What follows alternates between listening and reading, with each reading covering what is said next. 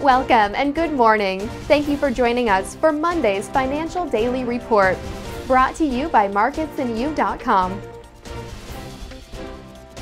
China's imports unexpectedly jumped higher, suggesting improvement in domestic demand.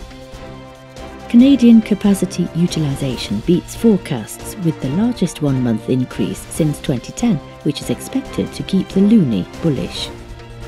US oil inventories in storage at Cushing, Oklahoma, rose sharply in recent weeks, leading crude prices lower. S&P 500 continues to head higher thanks to strong support from the financial sector.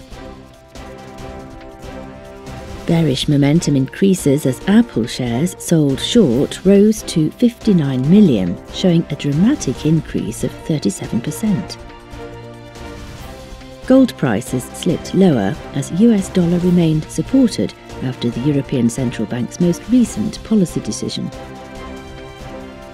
OPEC and non OPEC producers reached their first deal since 2001 to curtail oil output jointly and ease a global glut. Thank you for joining us for our market outlook. On behalf of all of us here at MarketsandYou.com, we wish you a productive trading day. Be sure to visit www.marketsandYou.com, the world's leading index trading alert service, to start trading today.